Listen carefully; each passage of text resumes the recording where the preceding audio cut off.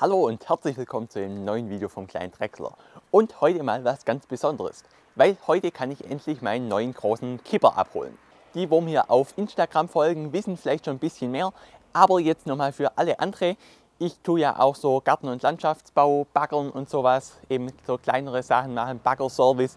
Und wenn man dann eben öfters Schotter oder Humus oder Bodenaushub transportieren will, dann braucht man natürlich einen Hänger mit ein bisschen mehr Zuladung, weil so eine Tonne hat man schnell überladen. Und ein Kipper sollte es natürlich auch sein, weil ansonsten muss man alles, was man irgendwo bei jemand rausbaggert, selber von Hand wieder runterschaufeln. Macht ja keinen Sinn. Und deswegen war die Überlegung, ob ich mir für meinen Lada einen Kipper kaufe, aber der darf ja bloß 1,5 Tonnen ziehen, beziehungsweise man kann ihn auf 1,9 Tonnen auflasten. Aber dann tut er sich schon beim Anfahren ein bisschen schwer, weil der erste Gang ohne Untersetzung ist recht lang übersetzt und da kommt man immer fast nicht weg. Und deswegen habe ich mir ja hier meinen Ranger gekauft, eigentlich bloß zum Anhänger ziehen. Und der darf ja 3,5 Tonnen ziehen, also kann man da einen ganz schönen Anhänger hinten hinhängen. Und somit sollte der Hänger natürlich erstens möglichst viel Zuladung haben, dann eben auch noch Rampen, dass man eben mit dem Bagger rauffahren kann und natürlich ein Kipper sollte es sein. Aber jetzt genug geschwätzt, der Hänger ist jetzt endlich fertig gebaut und somit kann ich den jetzt heute abholen. Also würde ich mal sagen, laden wir mal noch unsere Ranger voll und fahren da mal hin.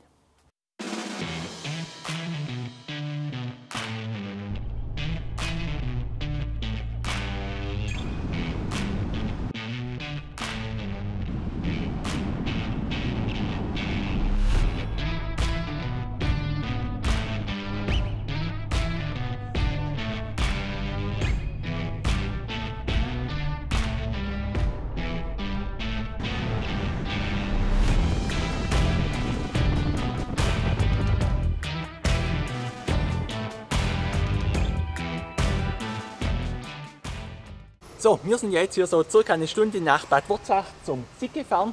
Ja, und dann schauen wir mal nach dem Anhänger.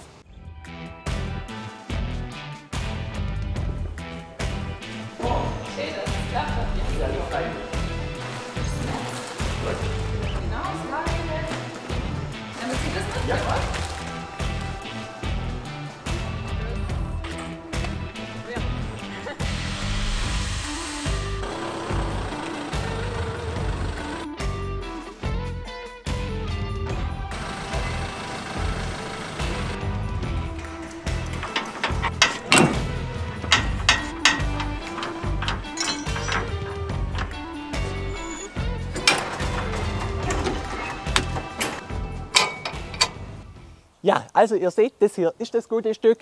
Ein dreieinhalb Tonnen Anhänger, drei Seitenkipper und auch noch mit Bordwanderhöhung. Weil ich war hier vor acht Wochen jetzt schon mal beim SIG und da habe ich mir eben hier den Anhänger zusammen konfiguriert. Ja, und die ganzen Anhänger werden hier eben direkt in Bad Wurzach selber hergestellt von Hand. Also wirklich alles, die Bleche zuerst ausleisern, dann abkanten und zusammenbauen. Alles geschieht alles hier und von Hand. Weil das Erste, was vielleicht auffällt, der ist ziemlich tief. Also der ist nicht arg viel höher wie mein alter Anhänger, weil das war mir eben wichtig, gerade wenn ich da eben mit meinem kleinen Bagger drauf lade oder eben auch was von Hand drauf lade, finde ich eben so eine niedrige Ladefläche doch ganz geschickt. Deswegen habe ich mir den jetzt hier einfach mit niedriger oder mit kleiner Bereifung genommen. Dadurch ist der jetzt schön niedrig und vor allem auch mit den hohen Bordwände. Das hier sind ja 350 mm Bordwände plus dann eben hier nochmal 700 mm Bordwandaufsätze komme ich eben immer noch so rein. Also wenn man dann irgendwas aufladen will, geht das so prima. Aber nochmal eine Besonderheit, man kann den Aufsatz sich eben hier auch so von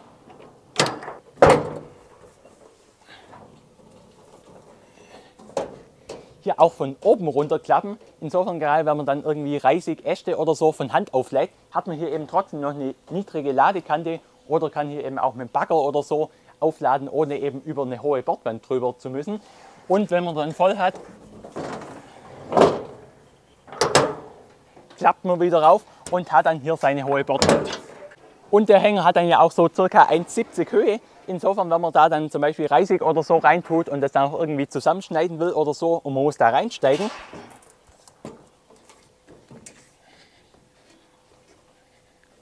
hat man hier auch gleich noch eine Leiter, sodass man hier auch entspannt reinkommt. Und es ist eben auch ein elektrischer Kipper. Insofern kann man dann entweder hier über die Fernbedienung das Ganze kippen oder nochmal eine Besonderheit, man kann den auch per Smartphone kippen. Und insofern hat man dann keine extra Funkfernbedienung, könnte man auch nehmen. Aber so hat man die Fernbedienung eben immer in der Tasche und kann dann eben kippen. Einfach mit dem Handy.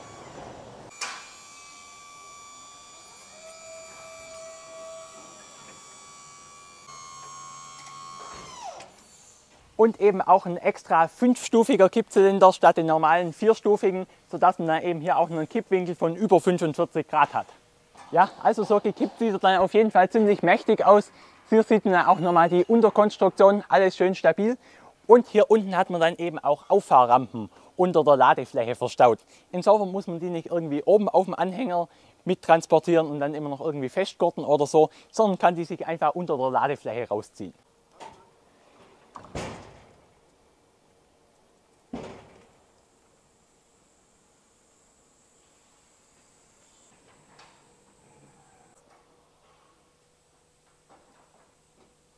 Und zum an die Auffahrrampen hinkommen, hat man da hier hinten einfach eine Klappe. Die macht man sich auf.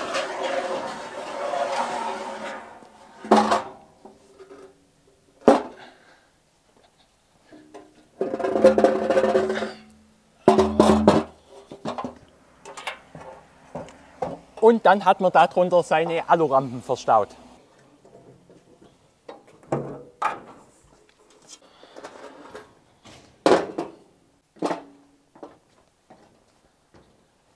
Und ihr seht, man hat ja auch relativ viel Platz. Der Hänger hat innen so eine Breite von ca. 1,80 und eine Länge von ca. 3,25. Und die Ladefläche ist eben sogar noch konisch, also ist hinten 5 cm breiter. Insofern, wenn man dann, wenn da eben dann sein Sach runterrutscht beim Kippen, verkeilt es eben nicht, weil es hinten eben noch ein bisschen breiter ist.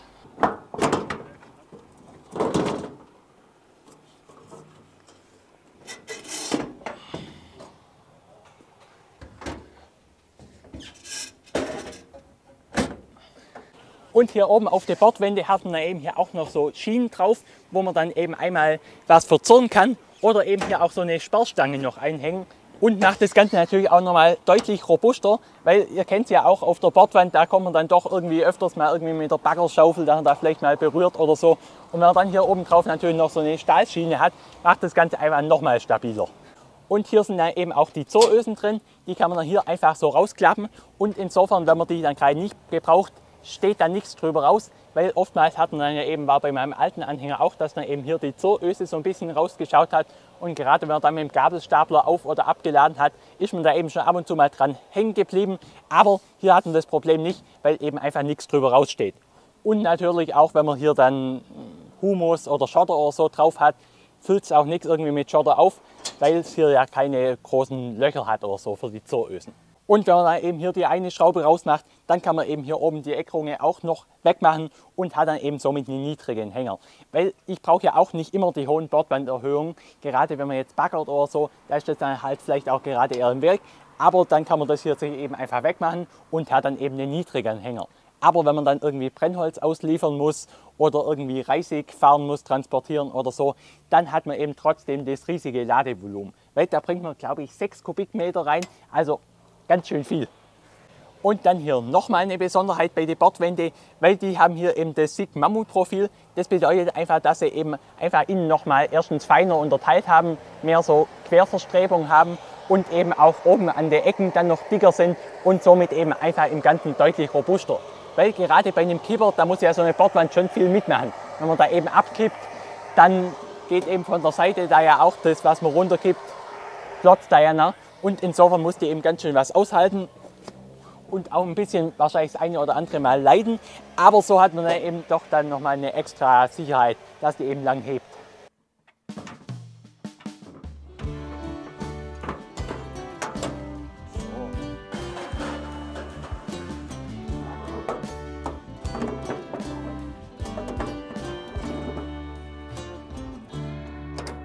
Und der kann ja natürlich auch seitlich kippen.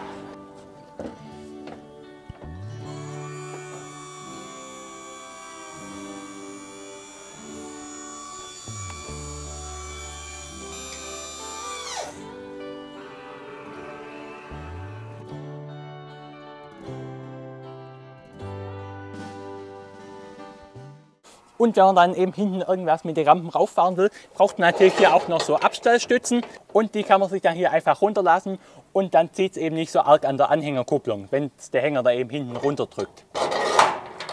Also Herr Rau, dann wünsche ich Ihnen viel Spaß und Ja. viel Freude mit Ihrem Anhänger. Vielen Dank. Allzeit gute Fahrt Ja. und Ich freue mich schon darauf, auf. den zum Testen. Herz-Nieren Ja. auf jeden Fall. Ja, also dann auch nochmal an dieser Stelle ein riesengroßes Dankeschön an die Firma Stick, dass ich eben mit Ihnen zusammenarbeiten kann und eben somit die Möglichkeit habe, hier mit so einem Hänger zu arbeiten, weil das ist ja auf jeden Fall ein Profi-Hänger, also wirklich für Leute, wo mit dem jeden Tag, den ganzen Tag arbeiten und das für viele, viele Jahrzehnte.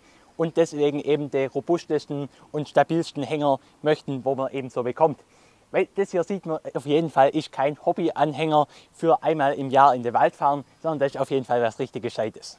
Ja, also wenn ihr mal auf der Suche nach einem Hänger seid, schaut mal bei SIG vorbei, weil die haben wirklich eine unglaubliche Auswahl an Hänger. Eben wirklich alles vom kleinen ungebremsten Einachser über Kipper, über Hochlader, über Maschinentransporter, über Viehanhänger. Also alles, was das Herz begehrt. Und man bekommt die ganzen Features, wo ich jetzt eben hier an dem großen Anhänger habe, natürlich auch an so einem kleinen Einachser-Anhänger. Also alles vom Kipper über eben hier die Zorschienen, über abklappbare Bordwände, über hier die Sperrstangen. Also alles, was man eben für so einen großen kriegt, bekommt man eben zumindest meiste auch eben für so einen kleinen.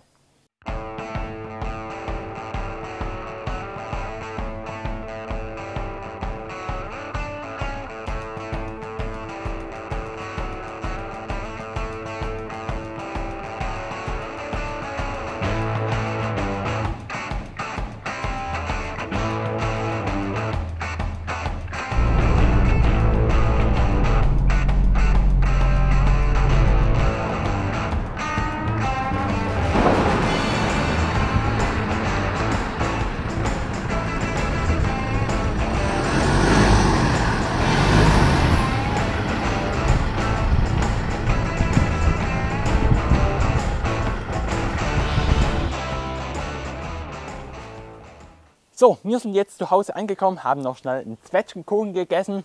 Ja, aber so hat es jetzt alles echt top funktioniert.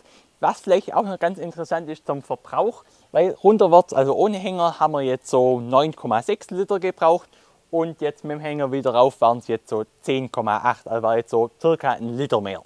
Ja, und damit würde ich sagen, kommen wir jetzt auch so langsam zu dem Ende von dem Video. Wir gehen jetzt nochmal schnell in den Wald, tun vielleicht noch mal ein bisschen Brennholz holen, weil da ist jetzt eben die Saison und da haben wir jetzt immer noch auf den neuen Anhänger gewartet. Aber das gibt natürlich nochmal ein extra Video und deswegen würde ich sagen, ich hoffe, euch hat das Video gefallen und ihr findet den Hänger genauso cool, wie ich ihn finde. Und damit bis zum nächsten Video. Tschüss!